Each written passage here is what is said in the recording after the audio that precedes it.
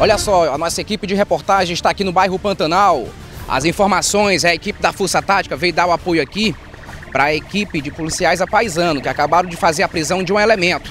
E nesse momento a reportagem da sua TV Difusora Canal 2, afiliada ao SBT, como sempre, a primeira equipe de reportagem a chegar aqui no local dessa ocorrência. Momento esse que a guarnição aí do Sargento Custódio veio dar apoio aqui para os policiais militares aqui também do 15º Batalhão. Conversar aqui com ele para ver o que, que, ele tem a falar. Olha a, a, arma de fabricação caseira que foi encontrado com esse elemento. Em relação a desses assaltos, o que, que você tem a falar aí? Procede essa informação que você está praticando assalto na cidade? Procede não, eu não faço assalto com ninguém não. E não, sai fora. E essa arma aí que foi encontrada com você? Essa arma é sua, é? Já tem passagem já? Conhece os indivíduos que estavam praticando assalto na cidade?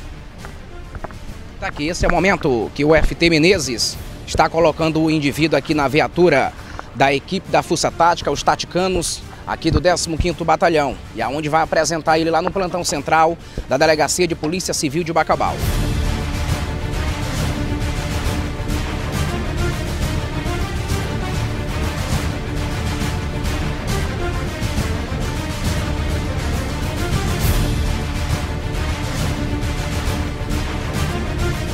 Olha, esse é o momento exato que o abençoado vai chegando aqui na delegacia do primeiro distrito policial. O primeiro abençoado a conhecer a cheirosa nesse ano de 2019 foi lá no bairro Pantanal. A primeira apreensão também de arma de fabricação caseira.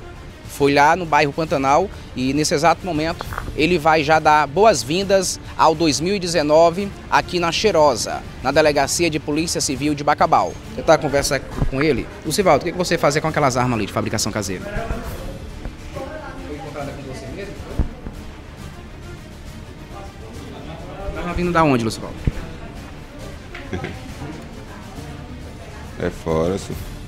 Tá de boa aí? Chegou recentemente de Palmas, foi isso? Hum. Nada a falar não, Luciano? Tá aqui, ele permaneceu calado, o certo é que ele está sendo apresentado, deverá se explicar para o delegado e em seguida, nessa tarde de quarta-feira, já vai ser liberado, colocado novamente em liberdade aqui na cidade de Bacabá. Mas o que tem de certo mesmo é que foi encontrado com ele isso aqui, ó. Todo esse material, arma branca também, ó, já está sendo apresentado aqui no plantão central da delegacia do primeiro distrito. É aqui, ó. Aqui, cheio de chumbo, ó. Chumbo de pólvora que é para justamente usar aqui nessas armas de fabricação caseira. E aqui a, a aqui, ó.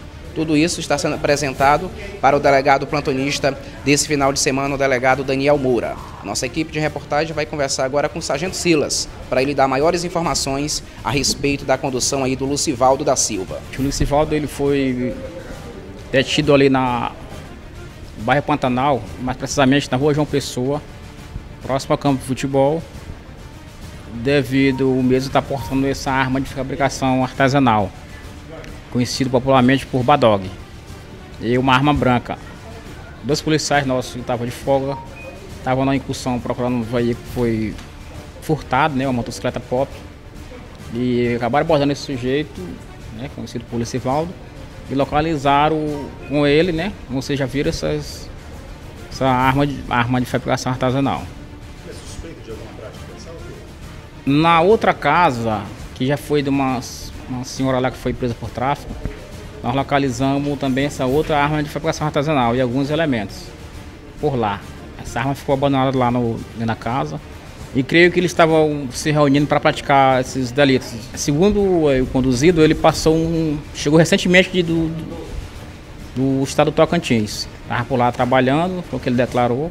E chegou aqui já foi, foi detido devido a esse, essa porte legal de arma. A gente suspeita justamente isso aí, né? Que os elementos eles utilizam dessas armas para praticar os, como eu falei, os delitos, os assaltos. Em relação aos os suspeitos que estão tá roubando motocicleta na cidade, chegou a falar que conhecia?